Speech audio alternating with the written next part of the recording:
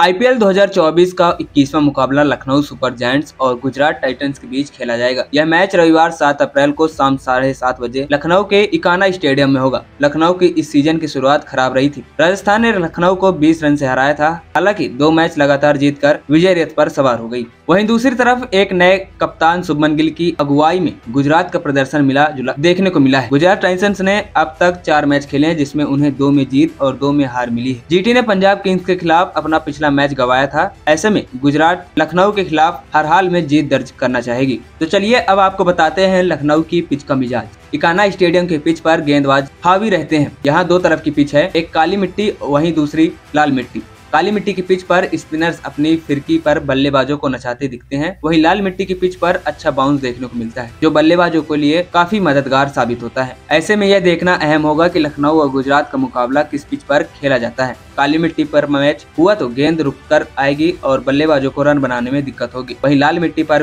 Match हुआ तो उभरते हुए रफ्तार किंग मयंक यादव को तूफ़ान देखने को मिल सकता है। वहीं बात करें आंकड़े की इस मैदान पर आईपीएल के अब तक आठ मैच हुए हैं, जिसमें पहले बैटिंग करने वाली टीम ने पाँच मुकाबले अपने नाम किए हैं, जबकि लक्ष्य का पीछा करते हुए तीन बार टीम ने जीत भी दर्ज किया है। हालाँकि पहली पारी का औसत स्कोर एक सौ इक्यावन रहा है, वहीं दूसरी पारी का औसत स्कोर यहाँ पर 126 रहा है। हालाँकि पंजाब के खिलाफ लखनऊ ने एक सौ निन्यानवे का स्कोर बनाया था। एएनपी टाइम्स की रिपोर्ट।